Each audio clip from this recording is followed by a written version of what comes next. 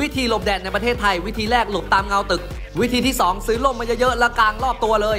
วิธีที่ 3 โบกวินมอไซค์แล้วก็ซ่อนเข้าไปในเสื้อวิน วิธีทีสี่4 กระโดดเกาะรถที่วิ่งผ่านมาจะได้ผ่านแดดไปเร็ว